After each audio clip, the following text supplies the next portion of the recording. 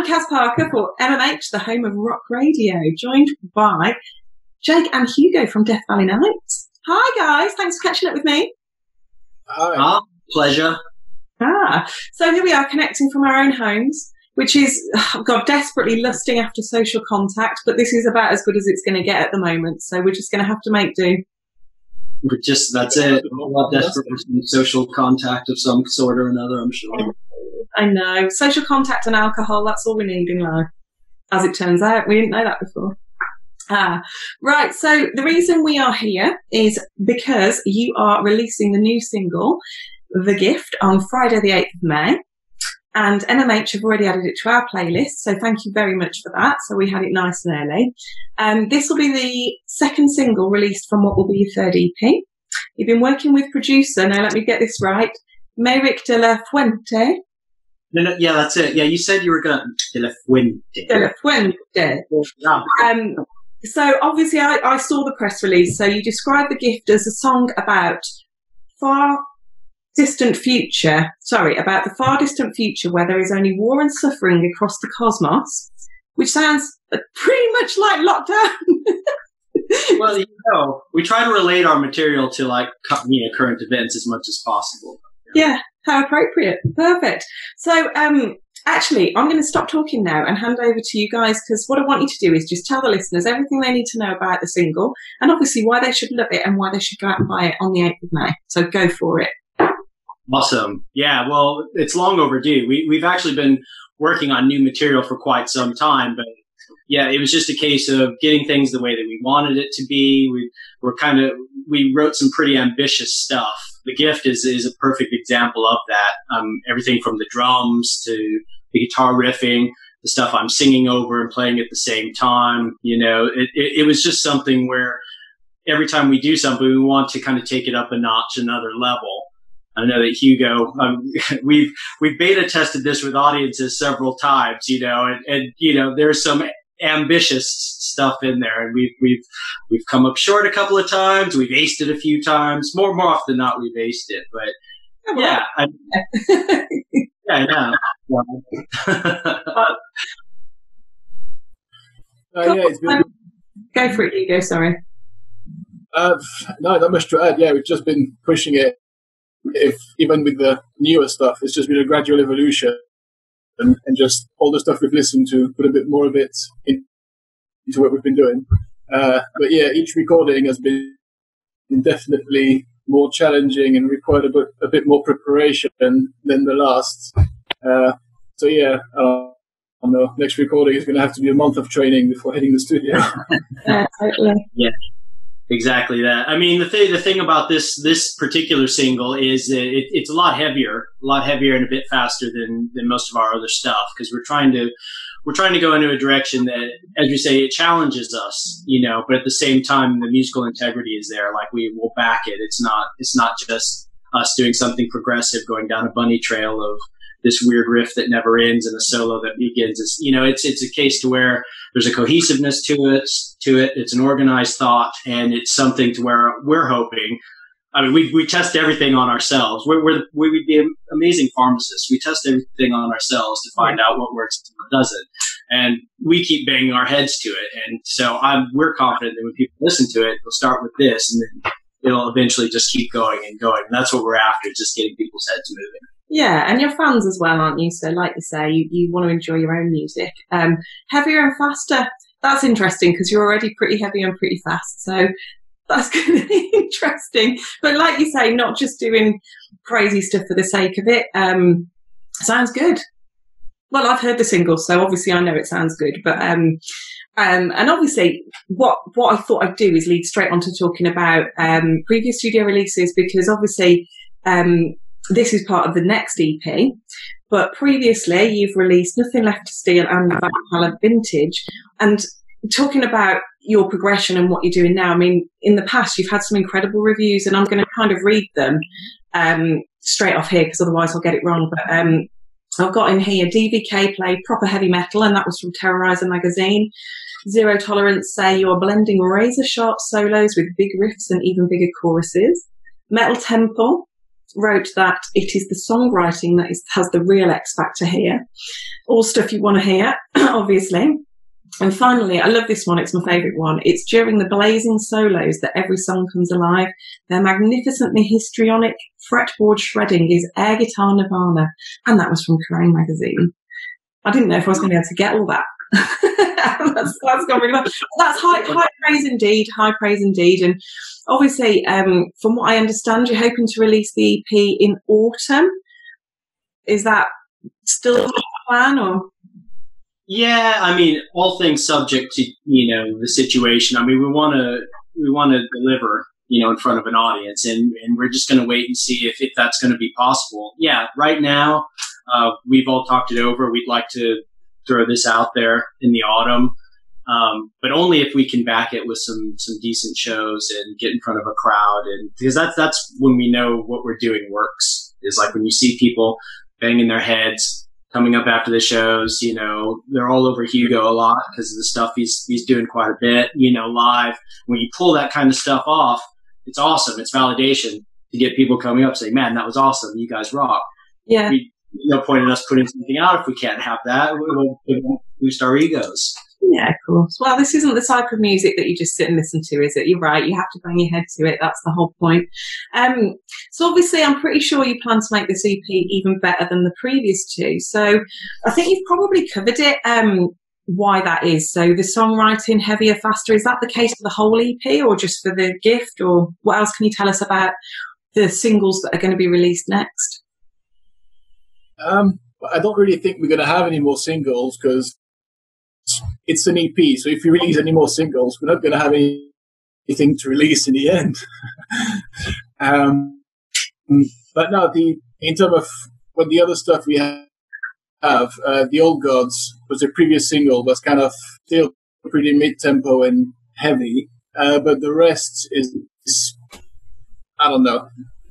There's one song that's even worse than the gift in terms of it goes even further in the craziness and the heaviness. Uh, and the other one is kind of the other way around with just uh, a slow, groovy, groovy track, like probably the slowest one we've done Okay. uh, so far, actually. Oh, there we go. That'll be That's something. true. That is true. This this one actually is is more varied, even though there's a shorter number of tracks. It's even more varied. Where we had the old gods, which is a mix of like starts off slow, goes out fast, and then we've got the gift, which is just starts fast, ends fast, completely. You know, and then we've got, um, as Hugo said, we've got this nice slow, groovy track, which I don't know for us, it's like reminiscent of like 90s grunge, but meets like proper heavy metal, you know? So it's, we, we, we have, cause we have varying influence, we have various influences. So we love thrash, we love death, we love black metal, but we have to put it together in a way that's us, that fits what we do. Okay. Hugo said something horrible. Go on. What did you say? No, just like how you managed to talk shit about grunge just for a second. For, you know, uh, we love everything, Hugo. We're very, we're very good artists. Well, let's keep it heavy, I think. All right, cool. So let's talk about lockdown then, because that is obviously what we're all experiencing at the moment. So clearly, you've obviously been really busy working on getting this single ready to release. Um, and actually, anyone who follows Jake on Facebook will have probably seen him rocking out with his top off after several gins and several whiskies, keeping us all entertained. But I just wondered what else you guys have been doing to stay sane. Yeah, I, rec- I reckon so. I mean, Hugo's a cheater, man. He's got people on his terrace constantly. It's horrible. He sees what's wrong with this country, is Hugo. And you, No, but but yeah, it's it is it is challenging, you know, because all, all we want to do is go out and party and you know hang out with our friends, our mates, see our family a little bit, you know. But yeah, I mean, we've taken this time, and I'll, I'll say this: we have taken this time to uh, begin writing new material. Like we're hoping that even though we have a release that's geared for the autumn, we actually have enough material to do a further release. Yeah. Um, here immediately. Like we, we haven't stopped. We've just stopped partying and, and this, this last weekend I couldn't handle that anymore, obviously. So yeah, Evidently. no, you're right. We've all stopped partying. It's sad. Very, very sad. So, um, okay. So, what, I mean, obviously, I saw some of the music you were listening to, or heard some of it on Facebook. But what have you been listening to? Like, just, just not your own stuff, but what, what's been going on? What's been on your playlist since you've been in lockdown? Anything to report? Uh, everything.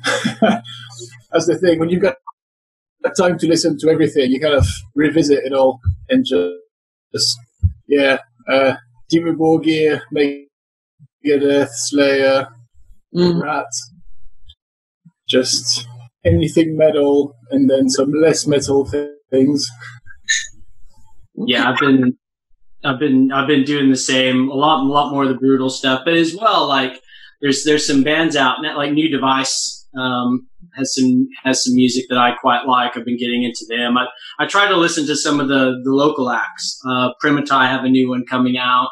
They're working on, um, and we've been we've been able to jam with with a lot of those guys through our you know because me and Hugo do a jam night. Jake and Hugo's most excellent jam night, you know. So we we do that, you know, and we're all missing missing that party and getting to hang out with all our mates and get on stage and just do a bunch of covers.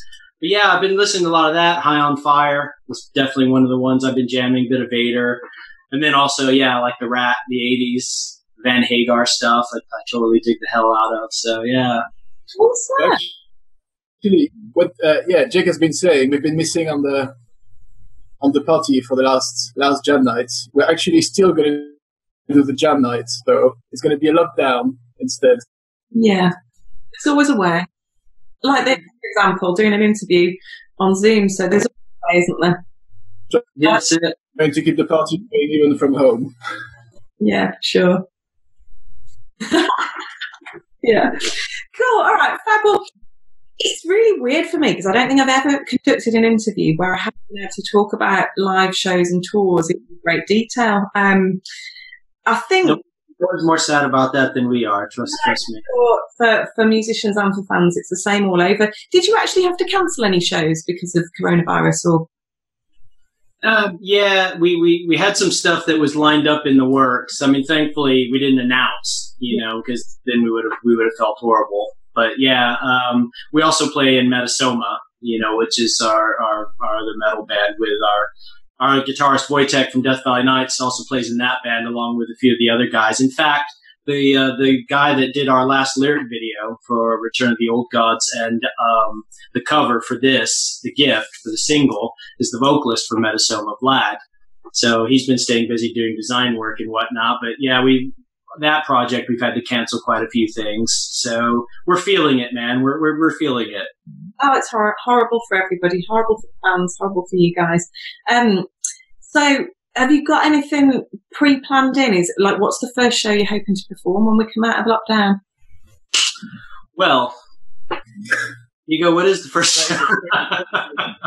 Give us an exclusive if you're not already, if it's not already out there we'll have an yeah so we're so right now I'm, I'm, speaking with a promoter in france about potentially doing something later in the year around november time and then um, potentially it's not set in stone potentially um, belgium and portugal funny enough so nothing in the uk yet i mean technically nothing there yet either but you know the talks are happening so we're hoping we're hoping to yeah start looking at booking some stuff um, here pretty soon for the end of the year yeah, I think towards the back end of the year is going to be insanely busy if we're all allowed to go to gigs. so much been back ended, but it's the way it is.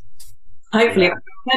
I mean that would be a nice problem to have, to be honest. So too many gigs.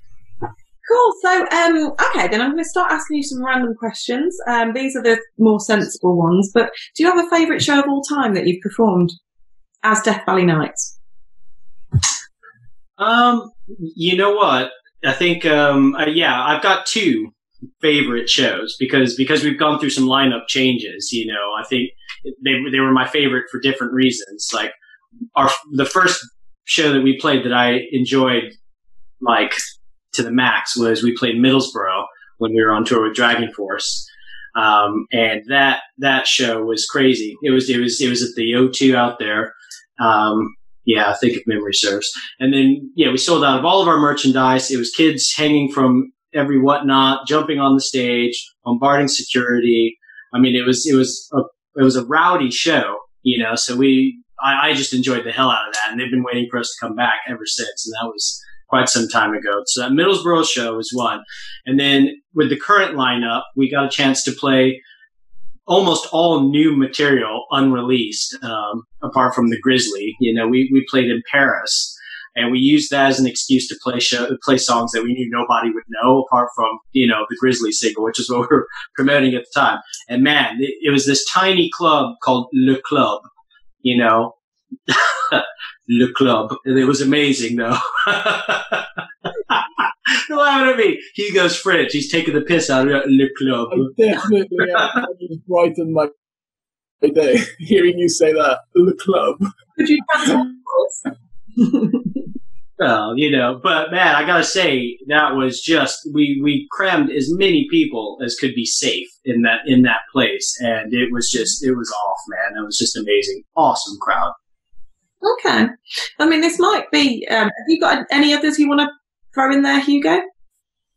Um, I mean, that's the thing. Like, I think that yeah, the Paris show we did in France, uh, the one Jake just spoke about, definitely stands out. Uh, one that stands out for a, a, different reason, but that is involved with the gift as well. The latest single uh, is we played Breaking Bands, I think, and yeah, Jake remembers.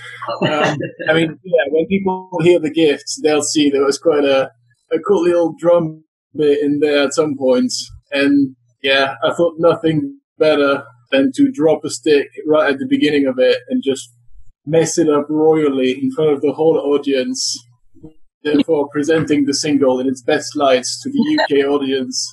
That show stood out with uh, the bass player and guitarist both crying, laughing for about a song and a half. The bass player couldn't look at the audience for all that time. so that show definitely stood out from the others. Okay. See, that's the thing, man. You know, the sign the sign of a good drummer isn't one that's tight all the way through. They've, they've got a tough gig of it, you know, playing really technical. They got to keep going. They're like the goalkeepers of the band.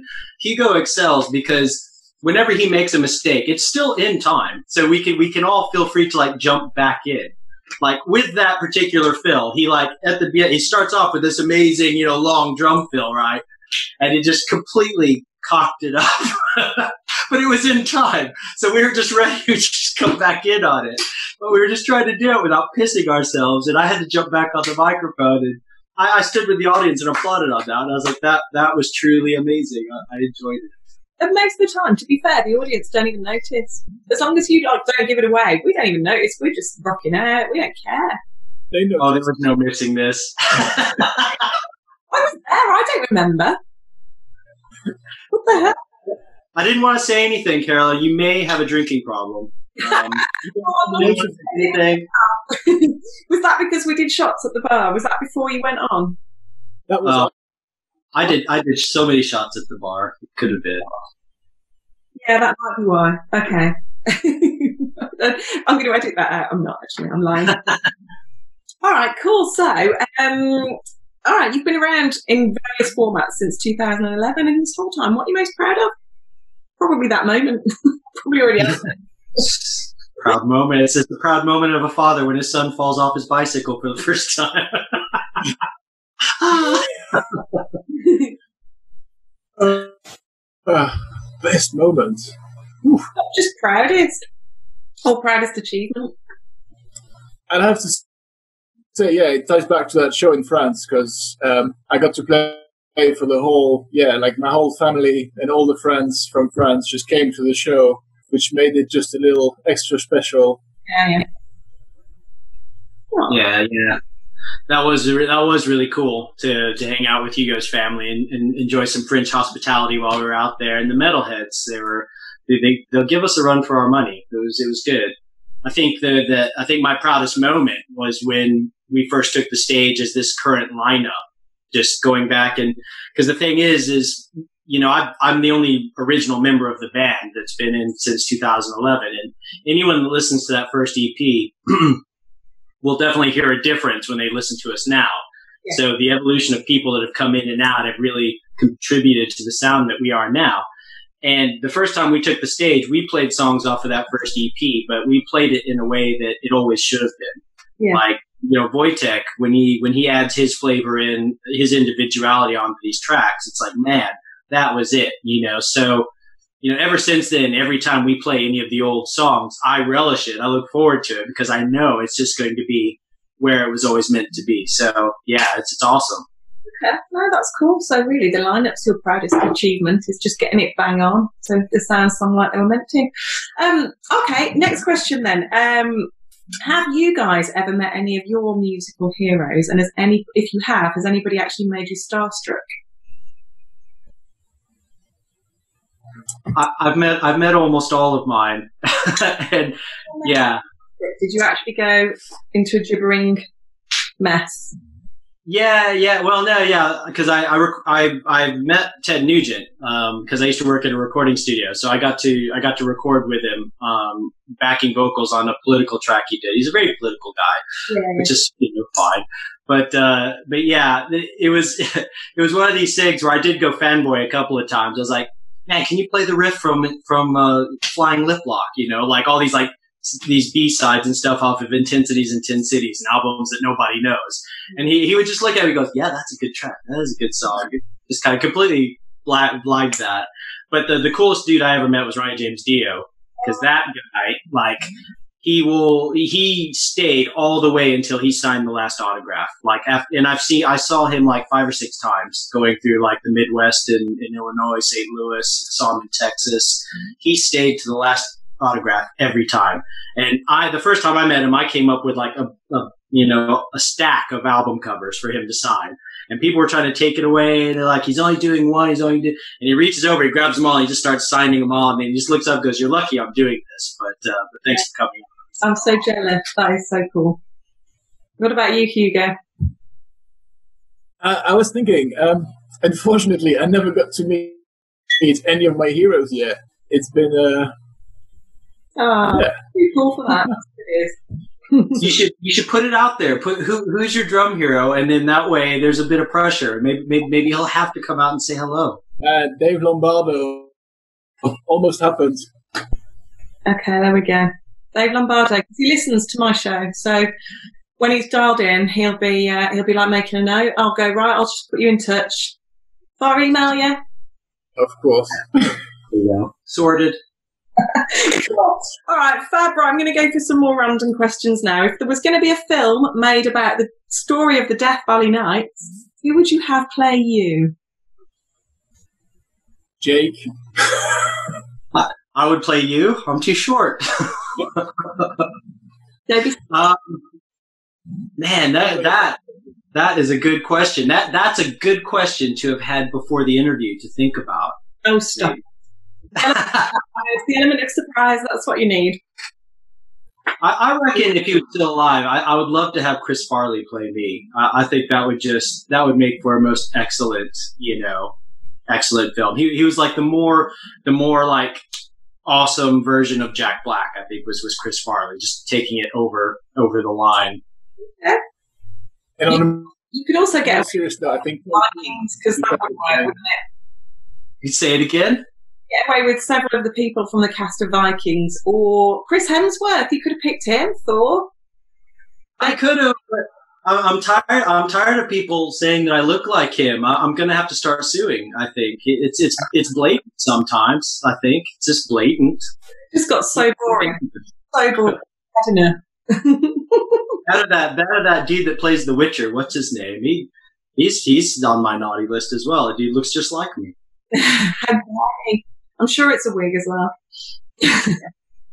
Go on then, Hugo. What about you? I don't know. Uh, Terry Crews. Who? Terry Crews. Terry Crews. I think we're fairly like the same heights and everything, so it, it kind of fits. Same build. Guys hitting the gym too much. I've always said this. He's slightly bigger than me, but it's, it's okay. It could, it could work. Make up for it in attitude. Exactly. No, you could. You could with your, your kind of you know messy style hair. You could go Jason Momoa. Man, There's some compliments going around here, Caz. best person. Especially with that era, that there's really There's no rules to pick the best person you can imagine. Fair enough. Fair enough. I'll take it. Why not? cool. All right then. Um, what shall we ask you next? All right. Um, what superhero power would you love to possess? Ooh, good one. There's so many to choose from. I suppose if I if I were a superhero, I would like to be indestructible. Okay. Yeah. That's more like um, the Incredible Hulk, then, really, isn't it? So maybe that's who we should have chosen to play you. Yeah, but the thing, but the Hulk, Hulk gets he gets his strength from being upset, and I'm never really upset. So I have to. I, would like to have the super strength without being upset all the time. Okay. Except for Hugo, I do get upset at Hugo quite a bit. You know that that's his superpower. He already has one. uh, I can make Jake upset at any time. Okay. Eight hundred watts. Whatever. What's yours going to be? Are you going to stick with that? Making Jacob's upset, or are you going to come up with something better? Well, I can, I can, I can make Jake many things, but I think I'll stick to angry for the benefit of this interview. Okay. Yeah. you do that. Well done. it wasn't actually the question, but that's fine. We'll go. so, okay. Um, all right, then you stranded on a desert island. What are you missing most? Oof. Lubricant. What are you missing? Lubricant. Lubricant. you know, you know this, this. You know, if you think about this, that will be a problem. You know what I mean? People don't think about stuff like that. No, nobody does. You weirdo. Everyone's going water, water. He's going lubricant. I can drink it. Yeah, I, I suppose. Uh, yes, I suppose on a desert desert island, they, you really just miss your um, yeah food and water probably. Not your record collection or anything like that, or hair straighteners. I don't know. Mascara. No, it comes, out like this already. So yeah. So where are you going to plug it in? Ah, well, electricity then. Let's get sensible, man. Oh, it's it's such a it's such a question to not be sensible about, though, isn't it? You, people always say, oh, "I'm gonna I'm gonna miss Netflix." You know, it's like, well, what are you gonna watch it on? the lubricant answer. I think that'll do. That's one of the more unusual ones I've had. I've got everything I need to use it. all the tools. it's all there. It's a bit like lockdown, to be fair, isn't it? But you've got electricity as well. I've got a meme for you. I'll send you afterwards. Um, okay, all right then. Uh, what's the worst thing that you can ever imagine happening to you on stage in front of an audience? And don't say playing the drum solo wrong at the beginning because you broke a stick. Uh, it, it is though. I've already done it. Oh, come on, this could be something crazy, like I don't know, anything. Uh, you know what? I had I had this this vision of this really really shameful thing. Have you seen the innuendo clip uh, from Queen? The video, yeah, yeah. So you know that bit where they have like all the water on Roger Taylor's drum, and when he hits it, it does that very cool effect of just like bouncing off. Yeah. And one day on stage, I felt really sick, and I was close to throwing up. But I thought, how awful would it be to throw up on the toms, and then as I smash them, have the same effect, but with just sick going over everywhere, over everyone. I love it. there you go. What about you, Jake? Can you top that? No, that's the best thing that could happen. That would be amazing. ah! and, it, and, the thing about Hugo is he would keep it in time. I have every faith that he would be spewing and it would just keep going. I have no doubt. now, for me, it's equipment failure. It, like the worst, the worst thing that can happen on stage is stuff that you can't control, and it's. And I'll, I'm going to be legit. I'm going to I'm going to keep it real for a minute. Okay. That sucks. that sucks. Yeah.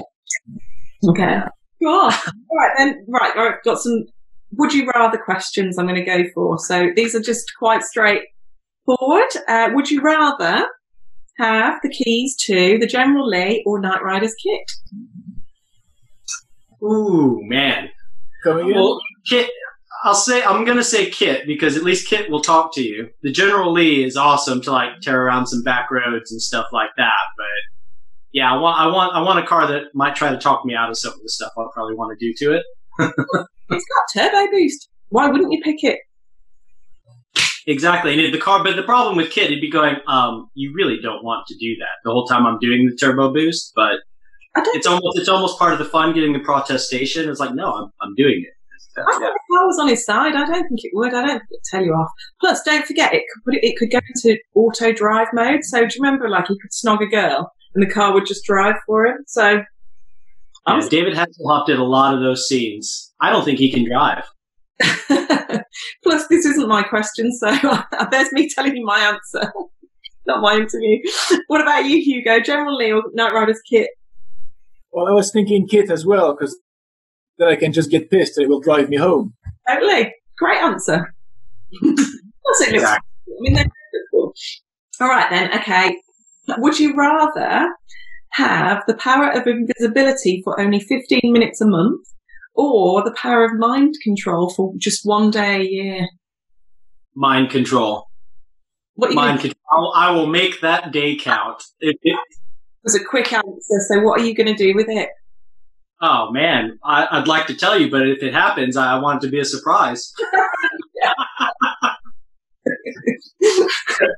No, man. Like if you have if you have one day of mind control, that'll sort your month out, and maybe even your year. You know. So I'd go for invisibility so I can hide from Jake during that one day. yes, we will sort you out on that one day for sure. but you can't just stack them up. You're only going to be able to hide for 15 minutes. Ooh. Yeah, that's That's gotta come sometime. Yeah. uh, okay. This one's way sillier. Wait for it. Would you rather have penises for arms or vaginas for ears? I can't even say it without giggling. Say again? Say it again. Penises for arms or vaginas for ears? You did hear correctly. Yeah, okay. Uh, I, I suppose. I suppose penises for arms because then you could you could get a wind up, couldn't you? You could really get a running start, and if you're into that sort of thing. and you'd finally have a big cock. I do. He he's my drummer. Well, I'd go for pussy for ears because it's so easy to hide. yeah. You could play with them. Anyway. Um, okay, next up. All right, uh, I don't know if I'm going to ask you this one because it's so silly and the connection's the, the problem. I'm just going to go for it. It's the silliest one you'll ever hear. Would you rather have a 10 inch long belly button that sways to the music or accordions for legs? How would you going to get weird? There's no right answer. There's no right answer to that. Why can't? Why not both? Why not both? It'll sway as I walk. Yeah, you can either make music as you walk, or you can be with your belly button freaking everybody out at a concert, woo, swaying to the music. I don't know. I'm not trying to influence your decision, but Would a snake charmer be able to make my belly button move? The, the belly button is the snake. It's kind of swaying to the music. It's doing it. As long as there's music, that belly button. No. Accordions for legs for me. I'm sorry. Make music every time you leave the house. That's lovely. Everywhere you go. Just tooting along. Down to the belly button then, yeah? We'll put you down for the belly button, Hugo, yeah? Oh yeah, yeah, go for it. Fuck. Why not? Okay, right. So that's probably enough silliness. Um, so I'm just going to ask you one final question, which is, what would the ultimate bucket list dream achievement be for the band? And it doesn't have to be realistic. You can just go as crazy or as weird as you want. Just what would you absolutely love to do? Lay on a plane. Lay on a plane. Great. Why not? It's been done, I think, hasn't it? But No, on a plane. yeah. I've only seen a Like on the wing. Yeah. Oh, on the oh okay. Oh my god, that'd be so cool. Like a wing walk.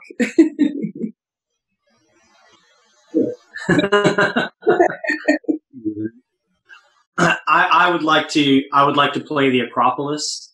I think I think that would just be, you know, I don't know if you remember that Greek piano player. What was his name? Yanni or whatever. He like had this live video of him playing piano at the Acropolis, and even as a kid, it, that came out when I was a kid, and I was forever thinking, what a waste! It should be AC/DC at the Acropolis. I mean, how amazing would that be? So yeah, definitely, definitely a big live show with lights and fire and endanger that monument with a heavy duty party, I reckon. Absolutely. Uh, well, what's it there for otherwise? I mean, I'm sure that's what it was set up for in the first place. So go for it. No, I love that. That's great. So, um, and there ends my stupid questions. So you are free, free of the stupidity now, finally.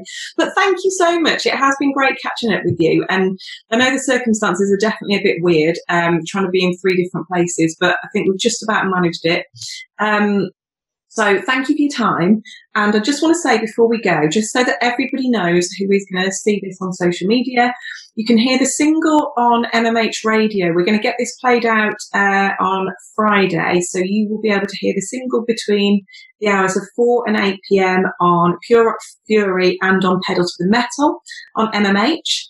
So when people are seeing this, it will be tomorrow. So it'll be Saturday the 2nd, isn't it?